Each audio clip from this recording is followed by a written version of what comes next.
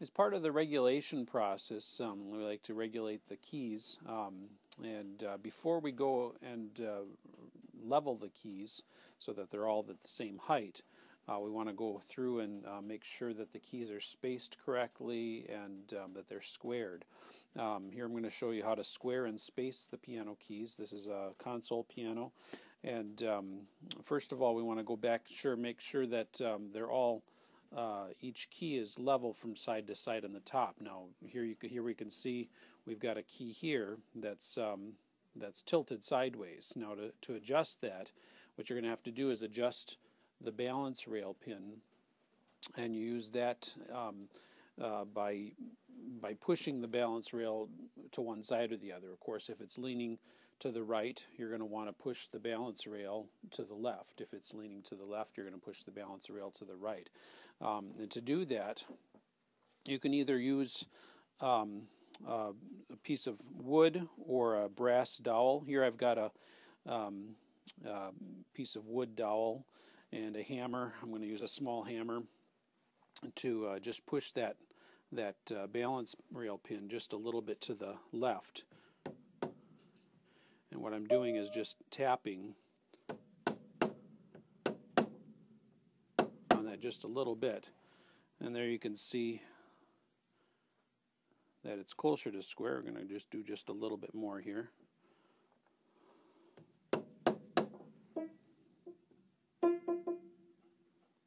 Okay, and there you can see we've we've pretty much uh, squared the key.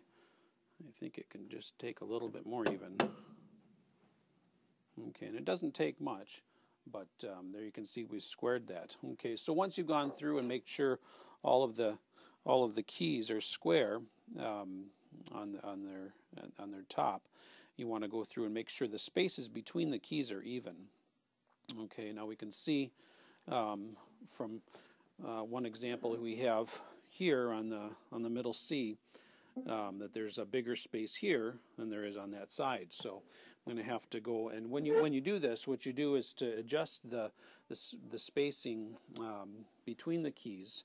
Is you're going to have to bend the front rail pin just a little bit. Okay, and you, you do this on on the white keys. It's a little bit easier to see on the white keys, but you also do it on the black keys. Make sure they're evenly uh, spaced between between the the keys next to them. And when you bend the pin, you um, here I've got uh, um, a tool. This is the offset uh, key spacer, and uh, this one's made to use in a uh, combination tool handle, which is here. Okay, we have a number of different combination tool handles, which will all work um, with the offset key spacer along with a, a number of other um, regulating and repair tools. But we'll, what we'll do is when you when you um, go to adjust the front rail pin, you want to lift the front rail felt punching up a little bit.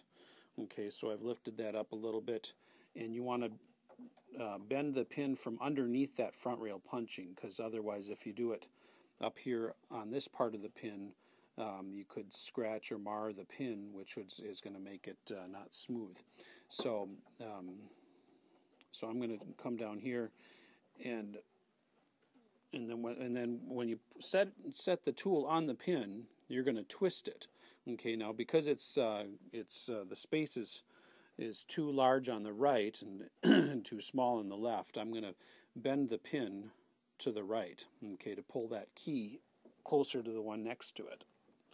Okay, and just a couple times you can see that pulls that back to about where it should be. Okay, so there's an even space between between the two keys, whereas before this one was too wide and this one was too narrow. Now we've got uh, got it more spaced.